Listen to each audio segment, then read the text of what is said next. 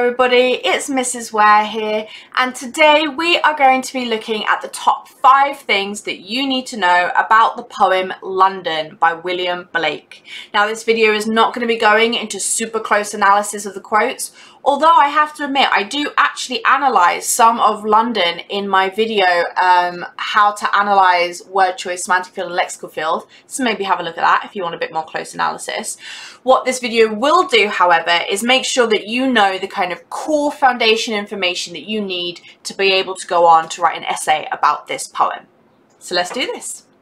Number one, what is it about? It's pretty simple, really. This poem is about a speaker, we don't know who they are, who is walking through London and observing the sheer misery of everybody that lives there. As someone who was born and raised in London, I can empathise. Number two, what are the key themes? There are a few different themes uh, that you want to have a think about for London. So the most obvious one is the oppressive nature of urban life. And uh, when I go through the context for this poem, I'll tell you a bit more about, you know, how that theme links to that context. You've also got the uh, moral corruption of the youth, but also the moral corruption of the establishment. Again, very closely linked to the context. You've also got the uh, abuse of power, lack of power. So abuse of power by like the establishment, lack of power for the people living in London. And finally, I would say you've got the theme of control. Who controls what? How far do we control things? And how that control leads to us being kind of like limited as well. Number three, what language should I analyse? There are a few great language techniques that would be uh, good to analyze in this poem. First of all, you've got the uh, repetition, marks of weakness, marks of woe, and the kind of always connotations there to weakness and woe. You've got the repetition in every cry of every man, in every infant's cry of fear, in every voice, in every ban. That kind of repetition combined with the range of people that are being affected and how that shows the kind of overwhelming suffering going on in London. You've also got the metaphor in mind forged manacles. So manacles is uh, an, an old word for handcuffs. So the fact that they are mind forged, this idea of how we're limited in our thinking by the uh, lives that people are leading in London. You've also got the metaphor of the soldier's sigh running in blood down palace walls, how the palace symbolizes like the monarchy and the establishment, and the running in blood representative of um, the kind of responsibility, the, the accountability they hold for the suffering and pain of the people that are kind of under them. You've got the uh, juxtaposition between uh, images like chimney sweepers cry, every blackening church appalls. Now, chimney sweepers, contextually speaking, were usually uh, children, boys. Um, so you've got like the youth there and their suffering being juxtaposed against an establishment like the church that is supposed to care about them, but actually is just disgusted by them. You've also got juxtaposition in lines like youthful harlots curse, so youthful suggesting that their innocence, harlots, their occupation, that's another way of saying prostitute, suggesting that, that like immoral behavior, cursing being obviously like swear words, how they're engaging in corrupt and immoral behavior. So again, that just like destruction of the, the uh, moral quality of our youth. Um, because it's a job as well, that being a harlot is a job, you could perhaps argue that what's corrupted her is that need for money, perhaps that harlot's curse is also having um, a wider effect on society as suggested by the very last line of the poem. So the harlot's curse blights with plagues the marriage hearse. Now, blights with plagues is a metaphor suggesting like, like her um, her language, her way of being is destroying something. And what it's, what it's destroying is the marriage hearse.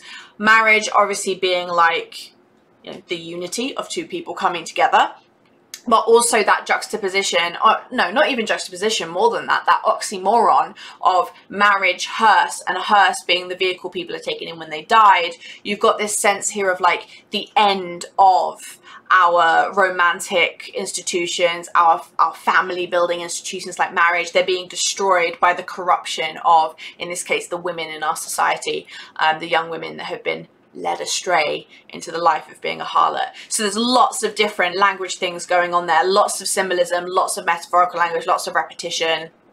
It's a good one. Number four, what structure should I analyse? We have got some great stuff going on structurally that we can analyze too. So first of all, there's the fact that uh, the stanzas follow a consistent pattern of being four lines each, and that is also matched with a very consistent uh, rhyme scheme as well, uh, an ABAB rhyme scheme. And that consistency in these stanzas and rhyme scheme is symbolic of the consistency of the suffering of living in a place like London. So that's a nice uh, structural point there. I think there's also uh, space to analyze the privileged positions of the first and last line in the language within that.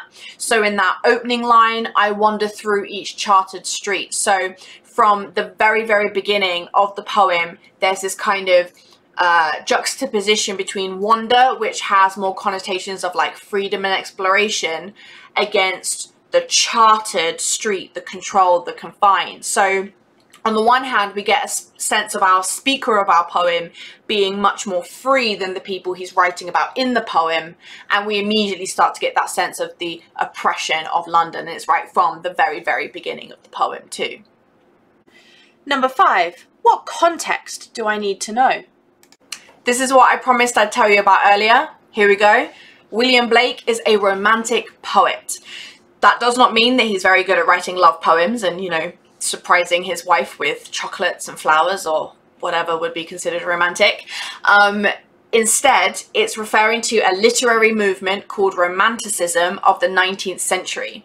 Romanticism was basically a group of poets who felt that with the Enlightenment era, with the Industrial Revolution, Britain was gaining all of this scientific progress, logical progress, rational thinking, at the expense of our connection with nature and engaging with our emotions. As an English teacher, I can totally get on board with that idea.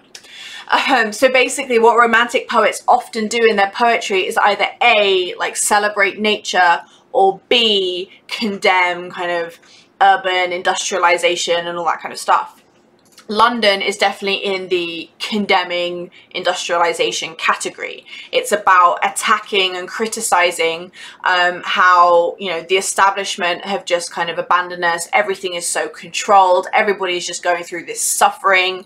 Um, you do get kind of hints of the industrialization as well. For example, with the reference to like chimney street, uh, chimney sweeps, um, with the blackening church. So on the one hand, blackening could be a metaphor for like the corruption of the church, but it could also be a much more literal reference to um, the blackening of the walls of the church because of all the pollution that's going on in London as well. So it is a real kind of criticism of the corruption that has come from industrialized urban life um, and how we've kind of lost our way, lost our connection.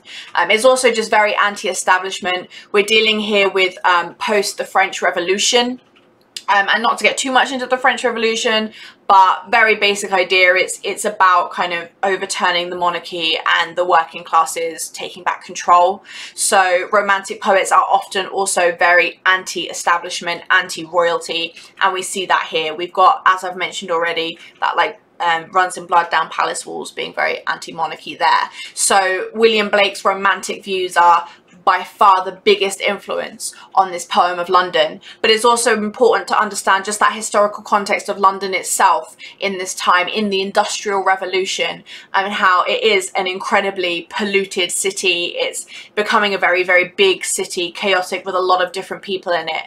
Um, so he is like representing a kind of I don't know, like the, the misery side of it, that's more subjective, but certainly in the sense of there being harlots and chimney sweeps and everything turning black from the pollution and everything being very kind of chartered and controlled, that's certainly a, a pretty accurate representation of London uh, in the 19th century.